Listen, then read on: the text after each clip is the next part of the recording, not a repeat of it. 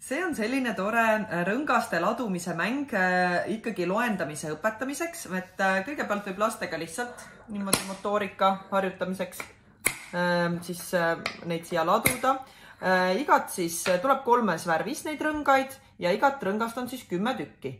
ja mäng käib siis niimoodi, et on siin värvitäring ja numbritäring ja näiteks laps siis veeretab, tuleb tal kolm sinist peab panema siia, üks, kaks ja kolm.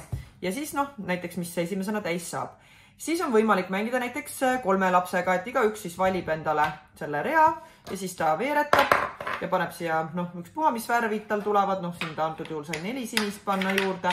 Ja kes siis esimesena oma selle torni nii-öelda täis täiesti saab?